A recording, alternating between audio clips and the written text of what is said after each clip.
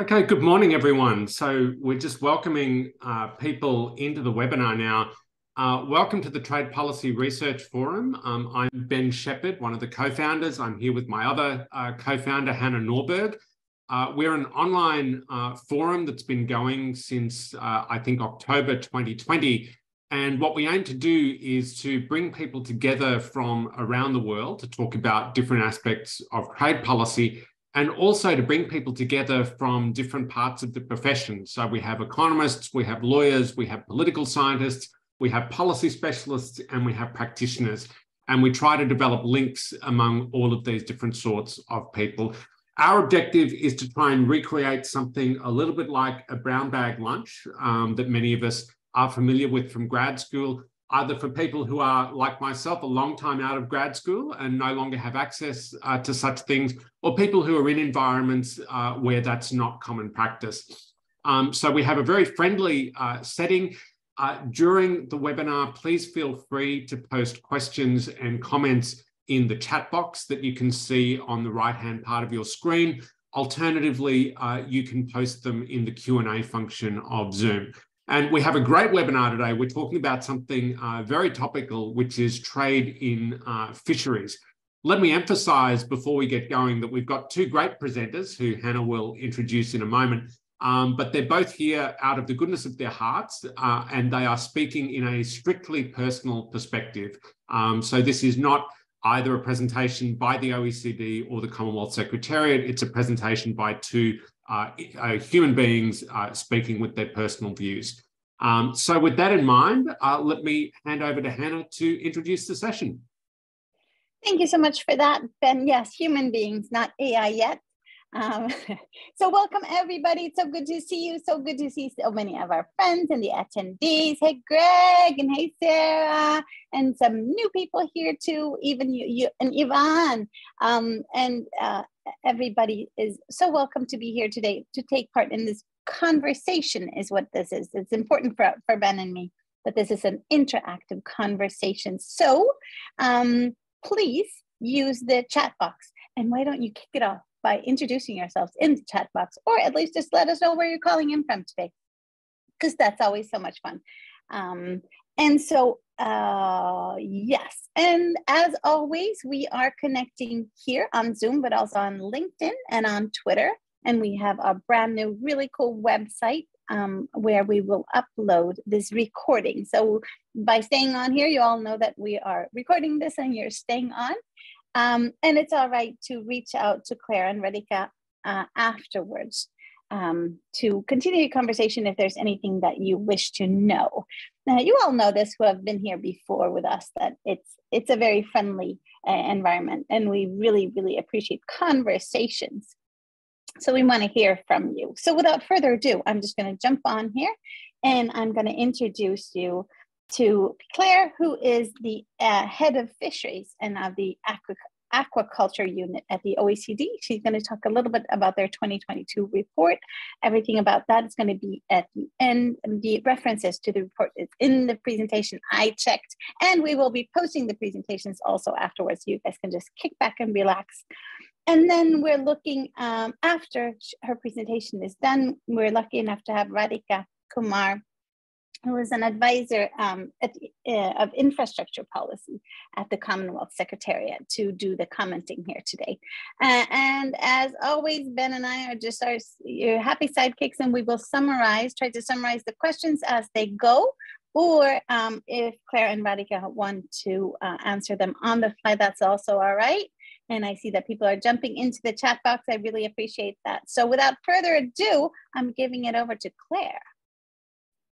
Thank you so much, Hanna, and thank you, Ben, as well, for this uh, invitation to discuss what has been a relatively hot topic uh, for the past few months and even the past few days as countries are starting to ratify um, the WTO fisheries agreements that was uh, concluded June last year.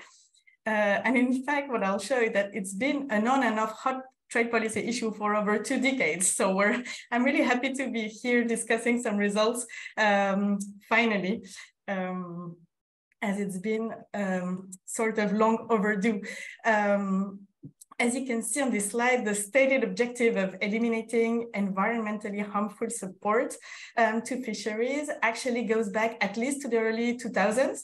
Um, when the WTO was invited to clarify its rule on subsidies in relation with the concerns of developing countries, but also in relation with environmental uh, consequences. So the Doha mandate is seen as, by many as the start of this conversation that we are um, having today.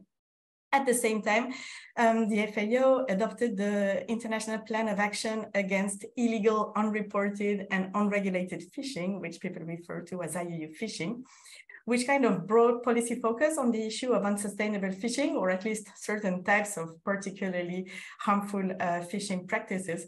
And so this kind of came together in the, 20, uh, in the 2005 Hong Kong Declaration, which um, calls for forbidding certain types of subsidies that encourage overcapacity and overfishing. Uh, of course, always considering the need for special and differential treatment for, for developing countries. And in parallel, uh, targets were adopted uh, in different uh, setups that with that same objective. So by the parties to the Convention on Biologic Biological Diversity, uh, initially in the Aichi targets, and very recently in the Kunming-Montreal Agreement that has specific targets on environmentally harmful uh, subsidies that refer to, to fisheries and in the SDG framework, uh, where target 14.6 really sets um, the negotiation mandate of the WTO around the elimination of subsidies that encourage overfishing, overcapacity, and those that support IUU fishing. And it's on that that WTO members have been focusing their attention um, since then.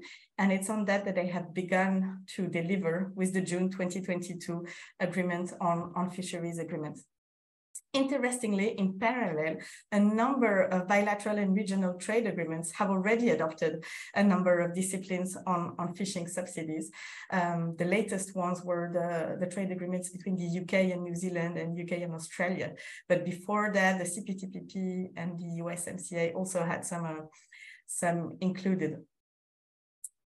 Um, so this idea of eliminating harmful fisheries support obviously is a trade topic in that it deals with subsidies and it certainly has the potential to influence fisheries trade and competition. But it's not only, or even maybe not mainly, a trade issue, as the harmfulness that is being dealt with is not harmfulness to trade or to the level playing field, but harmfulness to the health of fish stocks and their role in ocean biodiversity and ecosystems. And I think this makes the WTO agreement on fisheries subsidies reached in June a sort of unique trade policy object and one that still sparks a lot of interrogations on how it might be implemented, with which effects. And questions are actually even more open that the agreement was a partial agreement. And the new round of negotiations is now taking place to try and complement the first set of disciplines that was adopted uh, in June. So I really look forward to the to the audience appreciation of this agreement and and what it might uh, what it might achieve.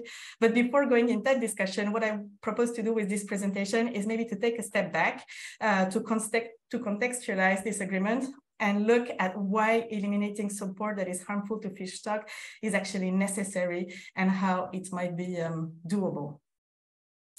Maybe one first uh, important element of context actually is clarifying what we are talking about when discussing um, fisheries subsidies in this context. Um, as you all know, a number of subsidies definitions are used by different organizations and the WTO definition is actually relatively restrictive or at least the way it is interpreted by members is. So in a WTO negotiation context, um, subsidies refer to direct support to um, fishing companies and individuals and such support that is only offered to them. So this, for example, rules out subsidies that would be available to both fisheries and, agri and agriculture, for example, or subsidies that would be available to all maritime sectors.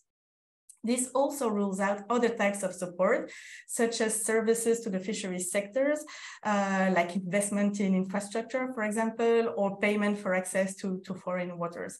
So that's important to keep in mind when you think of what the implications uh, might actually be. At the OECD, when we look at the impact of, of, fisheries support and when we study that, we like to use a broader definition that also includes support to the sector as a, as a whole. So our database, um, the fisheries support estimate database, actually includes all types of policies that are targeted to, to fisheries. And recently, we also started looking into support that benefit fisheries, but without being uniquely targeted to fisheries, which we refer to as non-specific support that benefits fisheries. Uh, but we don't have much data on that, and it's still um, at an exploratory stage, I would say. Maybe we can come back to that in the discussion, because I think it's really uh, quite an interesting area for future research. So how much are we are we looking at actually? Well, after 20 years of negotiations, uh, it somehow remains hard to say. Uh, in principle, the WTO has a subsidies reporting mechanism, but members have not been very diligent about it. Um, you may have heard of rather large fishery subsidies numbers like the 35 billion estimates of um, Professor Rashid Sumaila and colleagues, of which they believe 22 billion would be harmful. We tend to think this is on the high end, as it includes uh, a lot of estimates and policies which uh, even at the OECD we wouldn't uh, qualify as fisheries support, such as, for example, support to marine protected uh, areas. On our end, we collect data on support to fisheries directly from uh, governments, which gives us rather detailed and trusted data but maybe uh, misses a few things as the incentive to be fully transparent is not always there. Um, also, our database is not global. It covers about 40 countries, uh, OECD members, plus large fishing nations like China and Vietnam. Uh, but together, these countries accounted for 90% of global landings uh, in recent years. So we believe it still captures the vast majority of global uh, fisheries support. And that data tells us that fisheries um, support totaled um, just above 10 billions yearly on average between 2018 and 2020, which represented about 11% of the value of landings over that period, down from about 14% um, between 2012 and 2014. So why not as high as the numbers I mentioned before? It's still a significant amount of money that has the potential to affect fishing incentives and fishers' decision, uh, especially as the support is not equally distributed um, across countries and across fisheries within countries.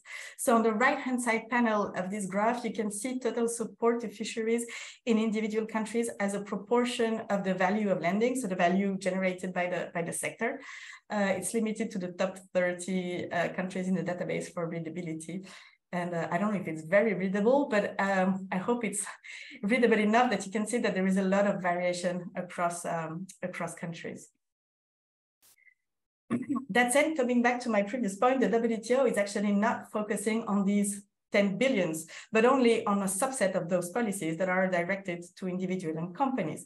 So typically um, on this graph, which shows a simple breakdown of fisheries support over recent years, um, the first turquoise uh, category is support to fisheries management and enforcement of fisheries rule. So something that you would not want to uh, discipline, on the contrary, a spending that is seen to be uh, beneficial to, to the sector. The second category, fuel, the red one, um, certainly falls under the WTO negotiation um, if it is specific. Um, and that's why we also want to look at non-specific support, which I will come back to later, uh, because we think that in some countries, uh, specific fuel support is actually the tree that hides the, the forest. So there may be a lot that needs to be looked at uh, outside, uh, outside specific support. Going back to the previous graph, if you now look at the left-hand side uh, panel, you can see the, the variation in policy mix and so in the nature of spending across country. And so you will see that not only some countries uh, spend much more than other in relative terms, but they also don't spend on the same uh, on the same type of, uh, of support policies. So there's a lot of um, a lot of variation in the policy mixes across um, across countries. Now, why is it that these negotiations and reforms more generally are taking forever? Of course, as always, uh, with trade policy, political economy considerations are taking a part in the story. And uh, one has to admit that not many trade agreements have been negotiated in the last 20 years. But there are also fundamental reasons that explain the fact that delineating uh, harmful fishery support is actually a difficult um, task. From an empirical perspective, it's very difficult to isolate the impact of subsidies on fish stock health because establishing causality uh, is not easy. There is no natural experiment setup uh, that um, you know comes to mind when you want to when you want to do that. And fish stock health is also affected by a range of um, natural phenomena, and notably increasingly climate change. Uh, the influence of which on fish stocks is not necessarily always well understood. So ruling this out from um, the evolution in fish stock health is actually uh, very, uh, very difficult. What is more, observing fish stock health in itself is also difficult and costly.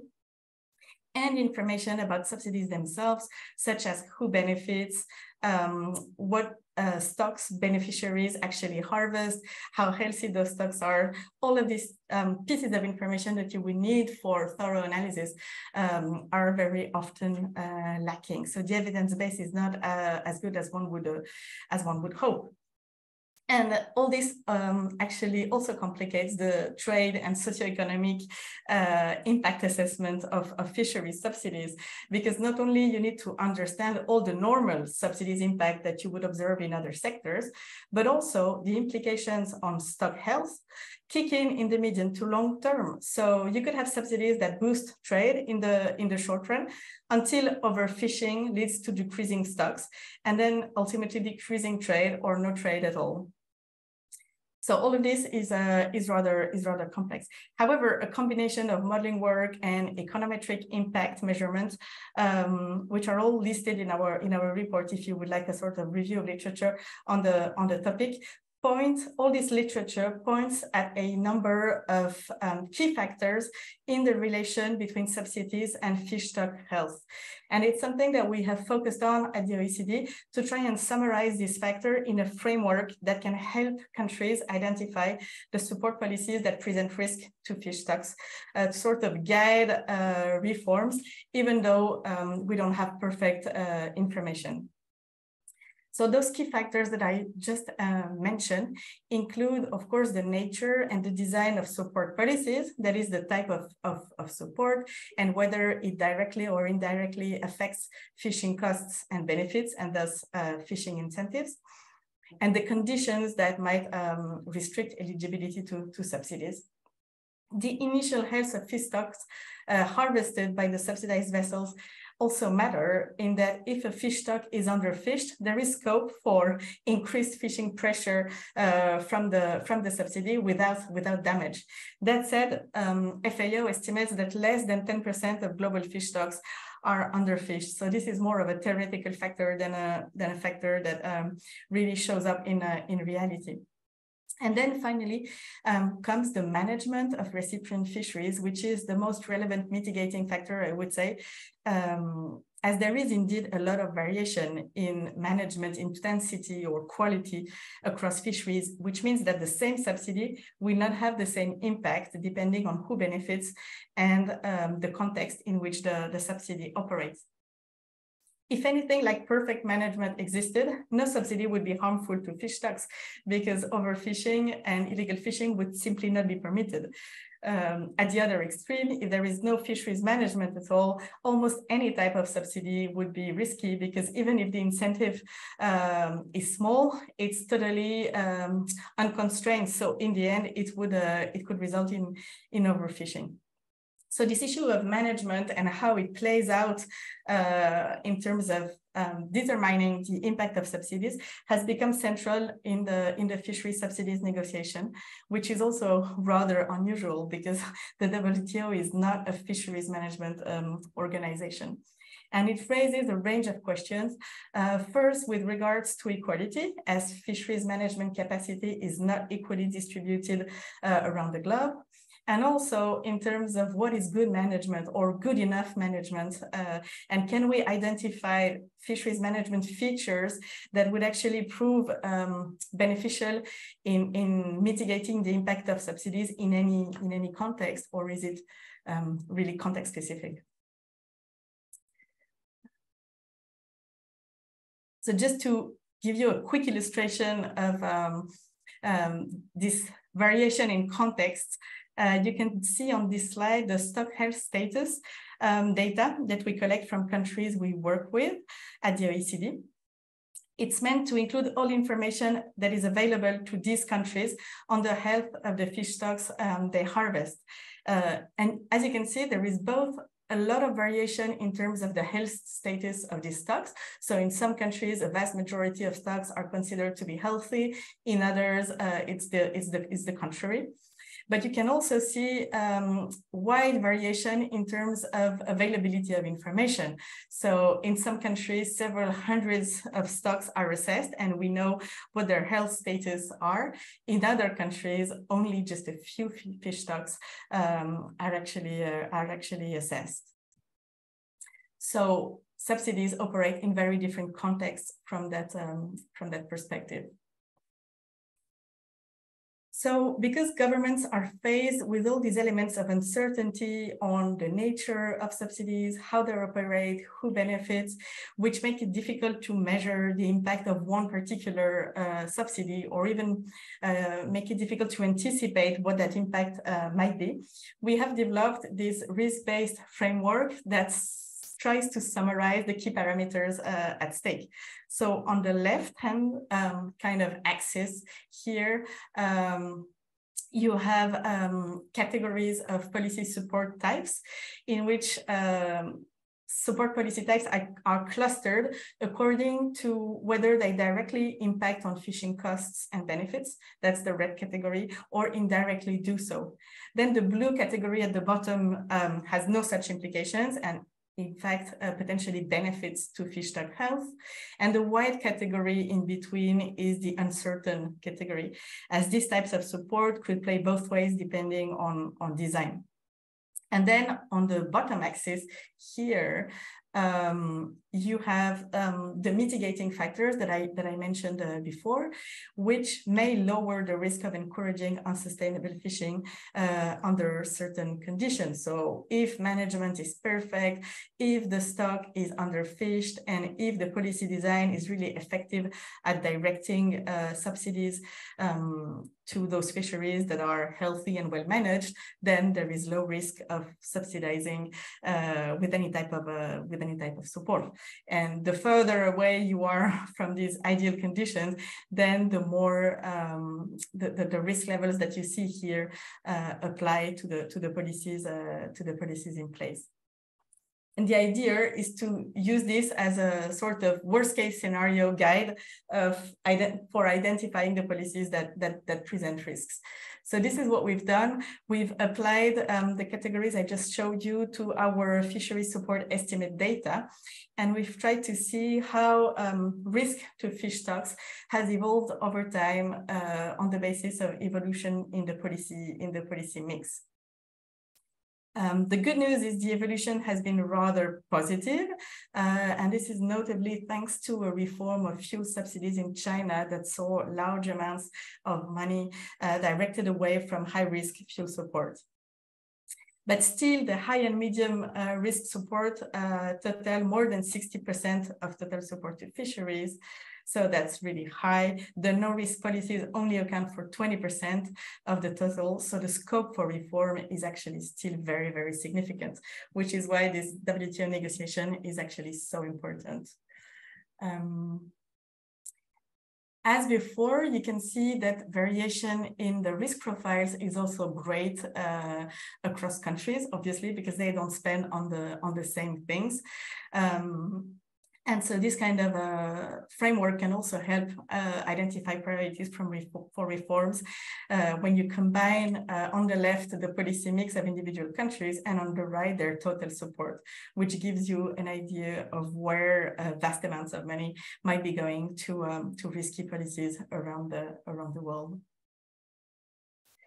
Um, so circling back uh, to the to the WTO uh, agreement, is it going to help us accelerate a move away from risky support? Um, that's what I'd love to hear uh, from the from the audience uh, at the end. Uh, maybe for those who haven't read about the agreement um, so far, a very quick uh, description of what it contains. Um, a first set of disciplines, the three most important being a prohibition of subsidies to IUU fishing and fishing related activities. Fishing related activities would be typically those um, vessels uh, that store and ref re refrigerate fish uh, without fishing themselves. So fishing vessels just um, sort of pour fish into those those big uh, tankers that then go go back to port. Um, second, a prohibition of subsidies to the fishing of overfished stocks, so those that are already seen to be uh, overfished. And third, a prohibition of subsidies to fishing on the unregulated high seas, that's water outside uh, the EEZ of any country that is not under um, the responsibility of any regional fisheries management organization or agreement. So basically really unregulated um, areas of the, of the high seas. Then the agreement also calls for due restraint in subsidizing vessels that are not flagged to the subsidizing country. This idea is linked to the issue of IUU fishing as, um, you know, a, a, number of the regulations that apply to fishing depend on the on being on the flag country. So if you subsidize a, a vessel who is not flagged to your country, you don't have so much control over over that fish, over that vessel. Sorry. And then the last one is due restraint in subsidizing the fishing of stocks with an unknown health status. And uh, there's many stocks with an unknown status, so that's potentially uh, very meaningful. However, what due restraint means uh, and whether there will be any capacity for members to um, to challenge that is something I think that remains to um, to be seen. Then the agreement also has special and differential treatment. Um, clauses that are actually uh, quite interesting in themselves. Maybe we can discuss that after the after the presentation. And there are extremely ambitious reporting obligations, which, if applied, should should open all sorts of new research avenues, as countries would ideally uh, have to report subsidies, but also the beneficiaries and the health stocks um, uh, that are the health of the stocks that are harvested by those beneficiaries as you may have seen, we're very far from having this type of, of information at this stage. So it will be interesting to see how, um, how that goes. But in itself, it could have very beneficial impacts, if only by just um, creating information on where, where issues are and where efforts need to, um, to focus. Um, and I, as I was saying, there are now um, negotiating additional disciplines uh, because you can see this doesn't cover uh, a prohibition of subsidies that encourage overfishing or overcapacity which are part of the of the WTO negotiation mandate and part of the SDG target. Um, so there's also a revisit clause in the agreement, uh, which says that the, the agreement would disappear basically if there is not a full agreement concluded within within four years. But hopefully we won't um, we won't get there so maybe to finish and, and at the same time kickstart uh, the, the negotiation, I just wanted to outline uh, a few of the potentials that we see in this agreement and also some of the some of the challenges. So one could say that in a way this agreement already helps uh, countries move away from some of the most harmful types of support like you know support to overfish stocks clearly very harmful. So something good to to um, to avoid. Um, that said, implementation challenges already arise because uh, in theory, countries uh, are those who will say whether a stock is overfished or not. And so how that might play out uh, will be interesting to see. Also, as I just said, we're missing a number of disciplines that are still uh, being negotiated so that um, most harmful uh, types of support would be, would be actually covered. Um, I was saying also before, um, the agreement should encourage better fisheries management, if only to continue being able to support the sector in unharmful ways. Uh, but what good enough management is to mitigate the potentially harmful impact of support will be a key question from that, uh, from that perspective. Um, And then there's a, a, number of other other potential and challenges that I see, but maybe I'm already over time, so we could uh, we could come back to uh, to those uh, to those later. Maybe I'll just flag the last one uh, on the bottom right of the screen, which is which is um, very contextual, but I think a key challenge for for fisheries uh, policymakers in the near future. Uh, in the current context of um, you know very high energy prices because of the geopolitical situation there is of course uh, a lot of pressure on fisheries policymakers to, to support either um, you know energy directly or the energy transition of the of the fisheries sector. And what this means in terms of new support being introduced and whether we can do that in a non-harmful way is actually a, a very important question as um, you could have, for example, um, support that is beneficial from an emissions perspective, as it you know you move to um, alternative fuels that would be that would be beneficial in terms of emissions. But it also means it lowers your your cost of fishing. It introduces new capital in the in the sector, and so the impact on fish stock health might actually um, be harmful. So um, I think we're going to see new policy trade-offs in the in the next few months that will be uh, very uh, very um, important to keep in mind and look at. Um, as Hanna said at the beginning, um, here are links to uh, everything we, we, we have on this topic. Uh, the full report, all of our data sets are actually uh, publicly available in terms of subsidies, fish stock health and, and management. And then we have a couple of policy briefs that um, summarize some of our key messages. So I would uh, warmly invite you to um, to take a look at all this. And uh, yeah, that's that that's it for me now. I very much look forward to the discussion and and the questions. Thank you. Thanks so much, Claire. That was uh, that was really great. So you covered a, a, huge amount of territory there, and I really appreciate uh, the way that you went into the issues. Um, let me hand over to our discussant to get the ball rolling uh, on questions and comments. Um, let me add one word to Hanna's introduction, which is uh, that before Radika was at the Commonwealth Secretariat, she was the Deputy Permanent Representative of Fiji to the WTO. Um, and the Pacific Island countries, of course, are countries for whom fisheries uh, matter in a relative sense more than most. So I know this is an issue that's uh, been very close to her and that she's worked on a lot. So uh, Radika, let me hand over to you for your uh, discussing comments. Um, Thank you. Thank you, Ben, for that uh, generous uh, introduction uh, edition and claire thank you for your your presentation i think it's uh, you know it, it's got a lot of information and something which i think all of us need to reflect on um but uh as as uh, ben mentioned um i will try to provide some uh, additional insights uh, based on the uh, experience or from negotiations. And also uh, from uh, from your presentation i note um, that the reference has been made from the fisheries review of uh, 2022 as well. So i did have um, a bit of time yes um, yesterday evening to just see through the the report. So what I will do, first of all, is uh, perhaps for the interest of uh, the audience, provide some uh, more um, additions on the WTO text and perhaps uh, some areas where maybe um, researchers can explore more in relation to the ongoing uh, fishery subsidies uh, negotiations.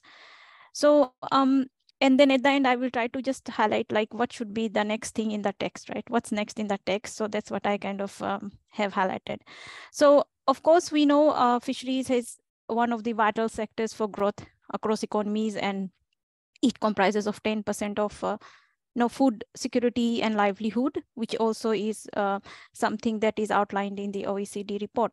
But uh, I also understand that there's a lot of um, mandates and uh, that Claire rightly pointed out in the beginning of her presentation that has kind of led to these fishery subsidies negotiations. And one of the uh, elements is the SDG 14.6.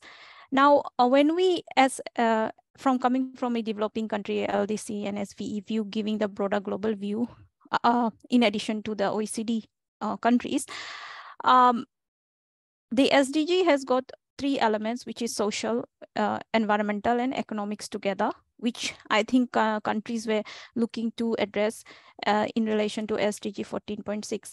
So one of the key things I think uh, countries need to also learn, I mean, or, or maybe reflect on rather, is how does this fisheries sector impact the different uh, players in the fisheries resource market? So we would I would see that uh, in terms of the demanders and suppliers of fisheries resources. And each of the um, um, players have got different objectives in the market, right? So for instance, the suppliers of fisheries resources, I would categorize them as developing countries and of course the small states, for example, in the Pacific region, right? We have what is known as the parties to the Nauru Agreement, and these are small countries, but they hold 80% of the global tuna supply.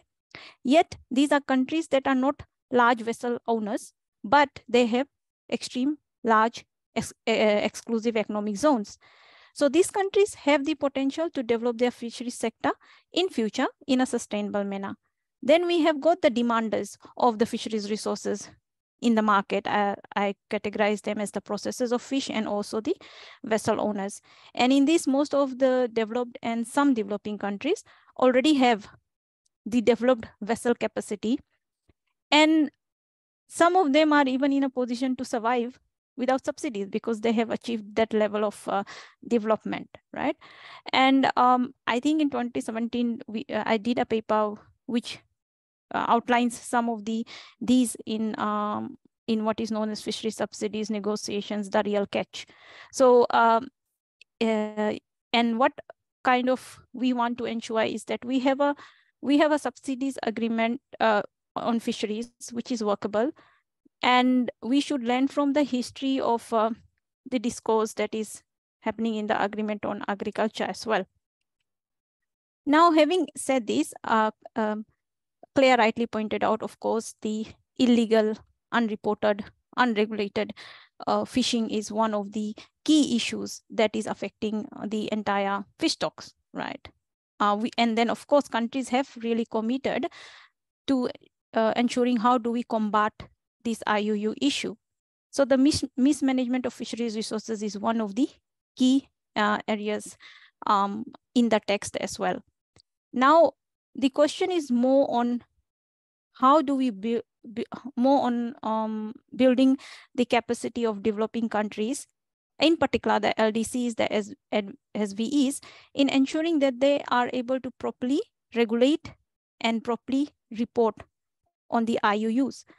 And I understand in the fisheries text, um, I think in your last or second last slide, Claire, you rightly pointed out, there's some SDT uh, kind of um, uh, formulation in the text. But um, and it's more to do with transition periods. But in my own personal view, this is not sufficient. If we are thinking of real solutions um, in uh, ensuring uh, we build the capacity of uh, these small countries, right? In particular, the SVEs and LDCs. Uh, though this has been already negotiated uh, in the in the text, I think part one, but maybe part two can kind of expand on this area, right? So what kind of capacity? Of course, uh, in regulating and reporting, there should be provisions such as um, um, assistance in development of infrastructure, uh, maybe technology for better regulation, and also maybe um, more policy on and uh, also capacity uh, given to these countries uh, for regulation and reporting. Um, and many, and this is not uh, a new um, area because many of the fisheries agreements, again, going to the slide one, uh, I think, which Claire shows, showed that there are many agreements, right? So UNCLOS and fish stock agreements. These clauses have special requirements for developing countries, which provide a list of areas of assistance.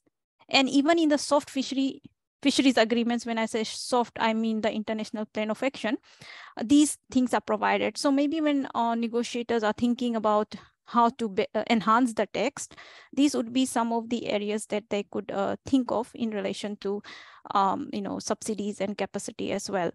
And um, so another thing is, uh, I also read the subsidies, uh, the fishery subsidies text, and it does mention about the provision of funding, but then of course, it is voluntary funding. So though that is there, but the imbalance will exist if the special and differential treatment provisions are not expanded on and then the kinds of assistance are not clearly, clearly defined for implementation purposes. And the developing countries and SVEs, as I've mentioned, are small fisheries sector. So they are yet to develop their sector. So if negotiators play their cards well, they can um, ensure there's um, sustainability of the fish stocks and also there's capacity the building that they can provide if they enhance the technical assistance uh, um, uh, uh, clause in the text by ensuring that they give meaningful and effective assistance to achieve sustainability. I've always been think I always have this re reflection uh, when people when uh, negotiators are mentioning about the issue of subsidies, right? Uh, and also the the issue of what kinds of subsidies or disciplines to regulate. And Claire rightly pointed out, there's different baskets of subsidies, but again, we have to be mindful if we are looking at the entire WTO membership, that development is, as rightly pointed, is not equally distributed. So what is true for one may not be true for another. And I know there were discussions about maybe I'm, I'm not suggesting anything, but there were discussions previously about a listing approach of subsidies. But then again, uh, certain parameters need to be established and also countries have to also maybe uh, the researchers on um, online who are interested in this can also research a bit further on how the trend of uh, historical subsidy distribution has been in the developed and the developing countries because what the kind the certain kinds of subsidies that are now specific and being disciplined were once provided by these large vessel holders themselves so something to you know to reflect on and how then do you uh, ensure that the imbalance is kind of uh, negated and there's equal opportunity and balancing in the negotiations. Um, so when from previous WTO negotiation experience, we also had the issue of the capacity of WTO in terms of its trade mandate versus that of its management, which I think in Claire's uh, last second last slide, she also mentioned that. So of course, there needs to be also close cooperation and coordination among institutions if we are really serious about uh, the fish stocks and in, from an environmental perspective. Now, one thing, there's something which I think is entirely missing in the text. Um, I think uh, there's a lot when we were doing the negotiations and even now when negotiations are happening there's always a reference to a lot of fisheries um, uh, agreements or we even in the soft or the mandated uh, um, agreements outside the wto but no one is talking about this international plan of action for capacity. And it will be good to have a discussion and countries need to actually uh, reflect on those developed countries that already have developed their vessel capacity and how they can now look into reducing it. So if you are more interested um, and if you are a negotiator online, please go and read the IPOA capacity. You, will, you might get some more insights on this. Um, and on subsidies and vessel capacity, of the developed countries. Uh, there's a lot of um, literature on this. I might share a few of um, this information with uh, you know with Ben and and uh, to share with members. But I I just wanted to uh, uh, also comment on this OECD fisheries review report. So I note that the review report it did some analysis on the capacity and but what it it can be further like maybe in your next review, it can further deep dive into another level of assessment because the review did uh, the assessment of combined fleets of all countries and economy. But what would be good is instead of looking at the combined fleet, further assessment on the vessel size and capacity by country would provide a more um, granular uh, picture For example, uh, some countries may have few vessels, but the size of the vessel is large. For example, some have 70 meters and thus have more capacity. So for the interest of the audience, if you um, even now reference the OECD fish, fish stats database, the fishing fleet um, also provides for the size of vessels by countries. So for interest, you can check that there are countries with vessel size of 30 meters and above, uh, 70 meters and above. And this is very important if we are going into discussions on capacity, because as a whole, at aggregate level, um, the analysis is, um, covers all sides of the vessels, right? But if you are trying to discipline fishery subsidies, we know the large uh, contributors to the decline in fish stocks are those that kind of are massive mega vessels, right? So it would be good to have that level of analysis done and perhaps, uh, you know, that will feed into the fishery subsidies uh, negotiations. And this has always been something I've been reflecting on and it's still reflecting on is there's always this um, issue of what subsidies to discipline. Then again, you have to uh, think holistically on the socioeconomic objective of the country providing the subsidy and also the size of the maybe the fisheries sector market, right? At aggregate level, maybe the information might show another picture. But if we look at per capita or pay fishermen level at country, if we can go that level, we will get a more um, uh, deeper insight on what kinds of subsidies are really harmful or what kinds of subsidies could be allowable and to what extent. Um, so with this, I would just like to end with some reflections on what's what's next in the text. What should be some things which perhaps is for in research, um, researchers can explore more, or maybe when negotiators are negotiating. Of course, the expansion of the uh, special and differential treatment clause, where uh, assistance should be more defined in relation to proper regulation, reporting, and also there's a lot of discussions about uh, overfish stocks. But if you uh, see uh, the article 4.3 footnote 11, doing fisheries assessment, fish stock assessment in its own is burdensome uh, on um, on countries which are small states and we uh, small states and also LDCs in relation to rebuilding stock level and biological sustainable level. Also notification and transparency is uh, great. Everyone needs that. But then this is uh, in the text, it is beyond the current Article 25 agreement on uh, subsidies and countervailing measures. And for notification, of course, countries were already challenged uh, in their notification process in Article 25 of S SCM agreement. Now uh, requesting them for further um, um, notifications would, is definitely burdensome. So capacity in this area under SDT expansion could be explored. And um, also the need for having this um, discussion on capacity disciplining vessel capacity and maybe uh, countries can also look into the IPOA uh, capacity um, action plan, which is there uh, and then assess the disciplines based on the size of the fishing vessel and also the gross tonnage per country. So with I end my intervention here.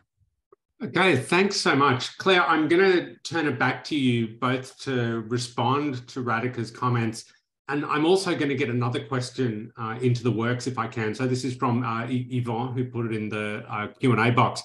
And he's asking if there are specific restrictions on fishing methods. So, for instance, are there you know particular disciplines that say you know you can't subsidize as much if the fishing method is particularly harmful to the to to stock health and all that sort of thing? So maybe when you respond to Radika maybe you can also uh, comment on that as well. That'd be really great. Thanks Radika for this very thorough uh, comments and for the additional question as well. Maybe I'll start with uh, backwards, you know, with one easy answer, uh, which was about this idea that it would be good to look at um, data on fleet capacity by country. It's not uh, necessarily discussed in the report because we uh, are constrained in how long we can be in those reports, but on the website, we also have country notes uh, that actually display all the data we have by country. And so in those country notes, you can find uh, detailed data about fleet uh, capacity over time in every uh, distinct country. So that's one, one source of such information. Another one, which is in the report and which I think is really relevant to what you were saying, uh, Radika, is we also try to look at support relative to fleet capacity, because the you know total total amounts of supports are of course very misleading. Uh, a large fleet may have large support, but it doesn't necessarily create huge incentives. Uh, so we also look at support by uh, gross tonnage of, of fleet capacity, and I think that's something that um, we would like to explore even more uh, in the in the future. We also look at certain types of support by Fisher and others uh, by um, dollar of, of landing uh, of landing value. So all these measures give you um, a, relative view of, of the amount of the yeah the, the size of support in different countries, and you will see that actually the top subsidizers are not the same in depending on how you look at this. So it also, I think, um, brings some context in the negotiation because if you look at total support, China comes out everywhere, you know, uh, but rightly so because they have a very large fleet. So so it's important to actually um, to actually look at that.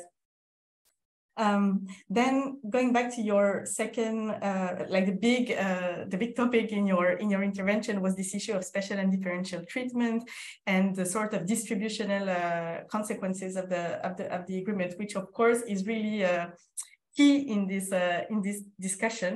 One question that I've had on my mind, and I'm not sure it's been answered, um, you know, thoroughly, but I think it's really something that people should look into, is you know what it's in the what's in the best interest of developing countries um, who depend on fisheries um, is it more important for them to negotiate special and differential treatment that is more significant than what is already there?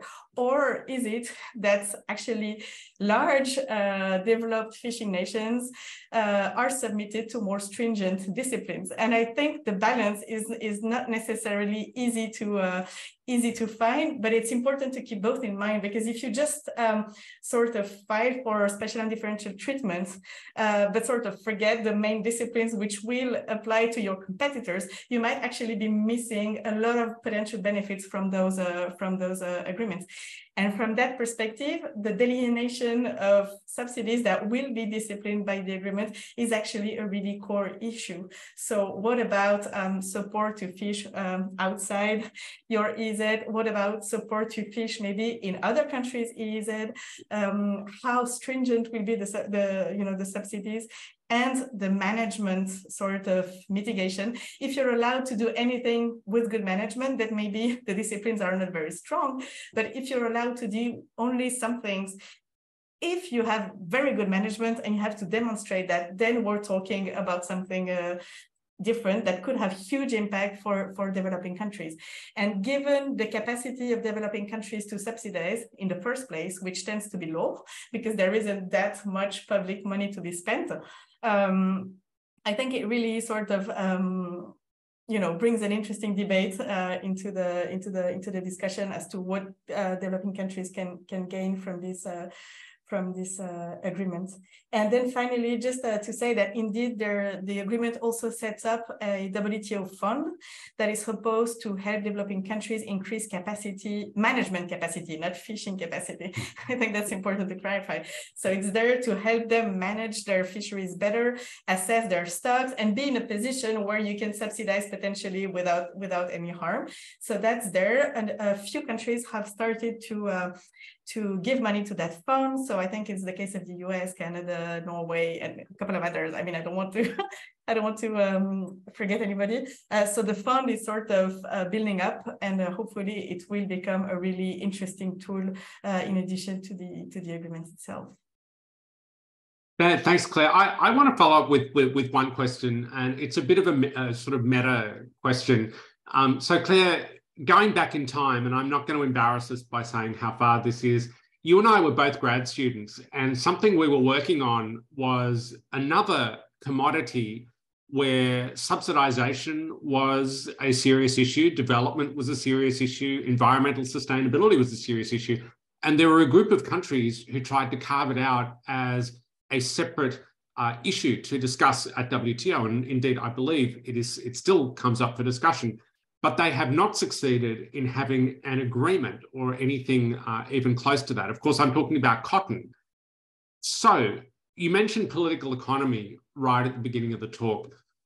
What makes the difference between cotton on the one hand, where you've got a group of developing countries, uh, Brazil even went to dispute settlement about it, won a case against the United States. I mean, all this kind of stuff happened, yet we still have uh, the level of cotton subsidies that we have. On the other hand, we have fisheries where there's now a dedicated agreement to try and do something about it. And I think you've set out really well uh, what all the considerations are that go into that. So, how did we get two such different outcomes?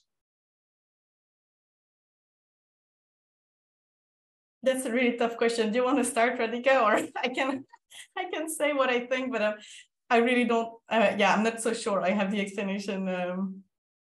I, I, I mean, uh, I, think it, it it's more to when you when you are in a negotiating environment, you know, it's it's more the negotiators. It's more what the country wanted at that time, more about information uh, availability and things, and perhaps you know, cotton had only like C4, right?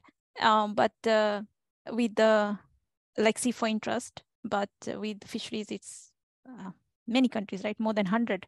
So of course, the the difference in terms of what the outcomes of the negotiations uh, is, I, in my opinion, as a negotiator, will definitely vary. So, but how, yeah, and it's still on the table, right? Because even even cotton cotton if you look at uh, i mean ben is a expert in uh, global value chains and all those things so you know the importance of cotton in the entire value chain right it's not just about clothes it's about so many other things so it's and then of course the agreement on agriculture which countries are still negotiating and um, on certain aspects. Um, if if if you are um, sort of mirroring what what is hap- what in in a from a negotiator perspective what we found out back then when we were negotiating is the same issue of specific and non-specific subsidies but then in uh, in um, ag agreement on agriculture there was green box and blue and amber box right and there was box shifting that happened of course in in those times there's several papers out there that countries that already provided the specific subsidies exhausted it. And of course, then they brought it to the developing countries to kind of um, discipline. Now we can, um, in the fisheries subsidies negotiation, that's where the learning comes into play, where if we are um, um, um uh, well read in terms of what the uh, text is saying, uh, it's, it's something to that effect. I think there's a lot of um, debates at the moment where the for developing countries, specific subsidies is still sensitive in most cases because they're developing their sector. For developed countries, historically they've given those subsidies and now they have phased it out. So for them, um, it's easier to do reforms in the fisheries sector, right? Having said that, it's not about, uh, it's not really about um, harming the fish stock, right? So there's a market access agenda that we we clearly see as well in, in relation to sustainability. And uh, one more thing I would want to throw in this as well is everyone is talking about the ultimate goal is to ensure that fish stocks are healthy, right, from this. And subsidies is not the panacea to kind of everything, right? There's climate change, there's other variables that needs to be taken into account. I'm not against the agreement, but it is just food for thought for, for everyone, yeah?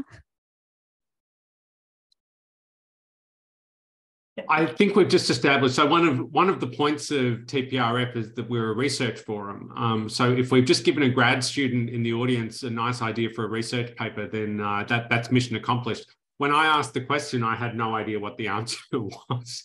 So thank you very much for all of those uh, points. I think we've uh, we, we've made a great start. I, I think, uh, you know, this is an area where there's obviously been um, some important progress recently. So it's great to get up to date on that. Um, I think that that's really useful uh, for everyone who's been here.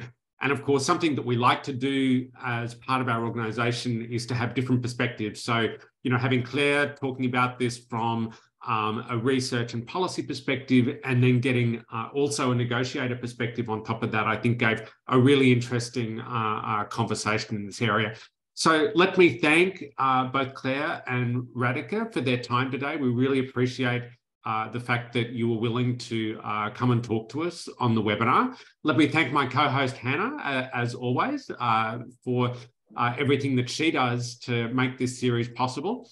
And I'll just give a quick plug for our next webinar, which is going to be on June 29, and we'll be talking about special economic zones. Um, so keep your uh, keep your eyes peeled. You'll be getting emails. Uh, there will be LinkedIn posts and tweets and all the rest, letting you know um, about the details. And of course, we'd love to see as many people there as possible. So thanks everyone uh, for being with us today, and we look forward to seeing you again next month.